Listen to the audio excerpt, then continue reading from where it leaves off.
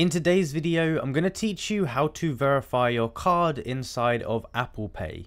Now it's very simple to do, just make sure you pay close attention to ensure you get every single step correct. So let's get right into it. The first thing you need to go ahead and do is go onto your iPhone and you need to go into the settings like I am here. You now need to scroll down until you get to the section that says wallet and Apple Pay.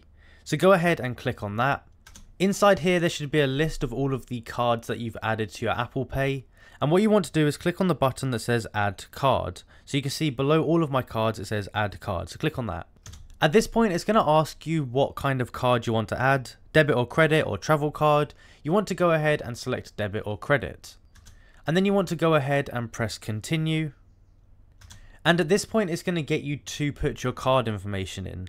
Now you can either take a photo of your card and it's going to automatically take the numbers from your card and store it, or at the bottom you can see there's a section that says enter card details manually. If you click on that, that's going to go ahead and allow you to put them in manually. So go ahead, put the name in and the card number in and press next.